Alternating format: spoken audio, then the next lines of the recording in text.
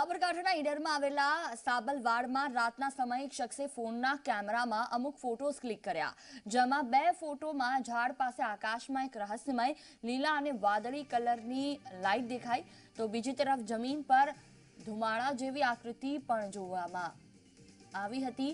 પહેલા તમને લાગ્યું હશે કે આ કોઈ ડ્રોન હોઈ શકે છે, પણ સમગ્ર તપાસ બાદ તમને ખબર પડી કે આ કોઈ ડ્રોન નથી ઉડાવ્યું. ઉલ્લેખનીય છે કે ત્રણેય લોકોએ આ રોશની નરી આંખે નહોતી જોઈ અને માત્ર કેમેરામાં જ આ રોશની કેપ્ચર થઈ. જેને લોકો યુએફઓ કહી રહ્યા છે. હાલ તો યુએફઓ અંગે તંત્ર દ્વારા કોઈ પુષ્ટિ કરવામાં નથી આવી, પણ ગામમાં હાલ આ રહસ્યની ચર્ચાએ જોર પકડ્યું. સાથે આ લોકોને અનેક લોકોના ફોન પણ આવી રહ્યા છે. છેલ્લા પાંચ દિવસથી અનેકો વાર ગ્રામજનો દ્વારા આ જગ્યા પર ફોટો પાડવામાં આવી રહ્યા છે, પરંતુ તમામ લોકોને નિષ્ફળતા હાથ લાગી. જેના કારણે આ રોશનીનું રહસ્ય વધુ ને વધુ ગહેરાતું જઈ રહ્યું છે. સ્થાનિક લોકો આ મામલે વધુ તપાસની માંગ તંત્ર પાસેથી કરી રહ્યા છે.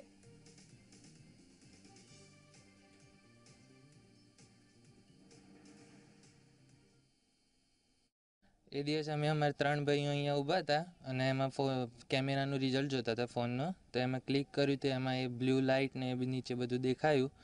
એટલે અમે પછી બીજા બતાવ્યું આમ. રાતે દસ ને છ એક પહેલો ફોટો ક્લિક કર્યો. એની બે પાંચ મિનિટ પછી પાછો બીજો ફોટો અમે જોયો. એમાં વિઝન ચેક કરવા માટે. અને એમાં આ બધું જોયું.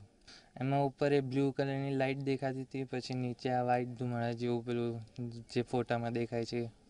ફોટો જોયો અમે, પછી ત્યાં જઈને જોયું ત્યાં એવું કશું હતું નહીં.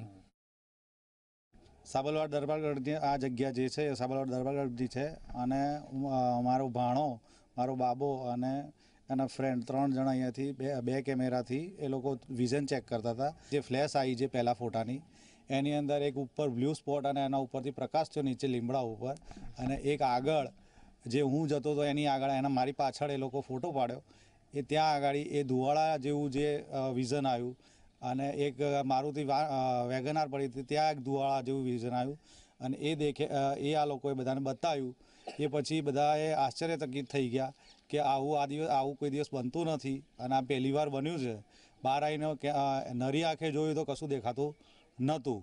વૈજ્ઞાનિક દ્રષ્ટિએ આનું તપાસ કરવી જોઈએ. ગીર સોમનાથમાં ઉનાના વાજડી ગામના ખેડૂતે કમાલ કરી, પ્રગતિશીલ ખેડૂતે કર્યું કાળા ઘઉંનું વાવેતર. કાળા ઘઉં અને ઘઉં કરતા વધુ પૌષ્ટિક હોય છે. બે વીઘા જમીનમાં ચાલીસ મણ ઘઉંનો ઉતારો આવ્યો છે. ખેડૂતને કાળા ઘઉંનો સારો ભાવ મળ્યો. તો પ્રગતિશીલ ખેડૂતે કાળા ઘઉંનું વાવેતર કર્યું છે અને બે વીઘા જમીનમાં ચાલીસ મણનો ઉતારો આવ્યો છે અને સારા ભાવ મળતા ખેડૂત પણ ખુશ છે.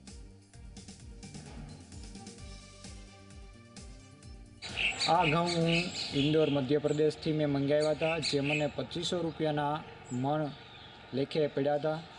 આ ઘઉંની મેં વાવણી કરી અને ઓર્ગેનિક પદ્ધતિથી આ ઘઉંની ખેતી કરી છે.